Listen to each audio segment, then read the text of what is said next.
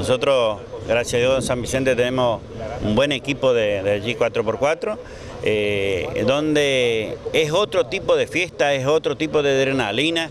que, realizamos, que la gente viene de distintos lugares, viene mucha gente de Brasil, de Paraguay, desde Buenos Aires viene, y, y es algo lindo, algo lindo porque lo que se siente en este momento, cuando estamos en el monte, cuando hacemos la trilla, y, cuando el día domingo, cuando hacemos la,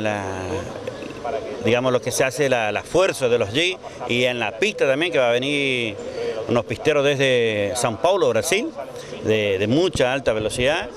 Eh, realmente es algo, algo que, uno siente en el, en el, cuero y uno quiere estar, digamos, es algo que,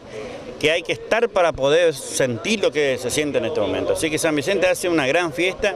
donde va mucha gente, el pueblo participa, las colonias participan, los municipios alrededor participan también. Y, también el que, va y compra un numerito puede traerse un G eh, andando, un G que puede muy facherito que está acá que se puede pasear, se puede andar en el barro, está preparado también para, andar en lugares feos, ¿no es cierto? Es una nueva apuesta del deporte y el turismo que la gente cuando, cuando se junta, cuando uno vela, digamos, no hay grandes premios, ¿sí? Pero este momento de compañerismo que uno pasa es muy importante. Nosotros hacemos la, trilla, de la trilla tenemos tres trillas, ¿sí? En distintos lugares, donde cada trilla sale 50 o 40 allí más o menos el día sábado temprano, ¿sí?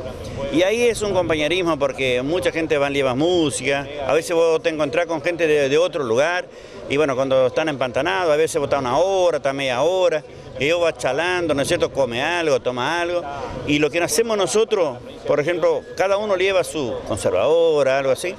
pero no se deja tirado una botella un envase no se deja tirado en el monte para cuidar también el medio ambiente. Nosotros, San Vicente, es un, municipio que mueve mucho el deporte. El tema del fútbol, el tema del vole, el tema del back, pero impresionante. Si nosotros vamos a sumar, esos días sumamos un poquito, los fines de semana, la cantidad de gente que nosotros tenemos vinculado al deporte anda en los 2.000, 2.500 deportistas. Aparte los públicos que, acompañan, los familiares, es, muy importante. Por eso es que se está dando bastante el tema de los playones deportivos, tenemos que arreglar las canchas, eh, es importante y, nosotros estamos haciendo con los chicos a la tarde, porque también siempre digo, si nosotros nuestros hijos, después que vinieron de la escuela y nosotros tenemos un horario para darle ocupado a ellos el tema de deporte, es muy importante, muy sano, porque si no el padre o la madre no sabe dónde están los chicos y pueden estar en, en otro lado, ¿no es cierto?, haciendo cualquier otra cosa, y si está haciendo deporte ahí cerca de su, su casa, en su barrio, estamos muy tranquilos, ¿no es cierto?, porque están contenidos nuestros chicos con los profesores.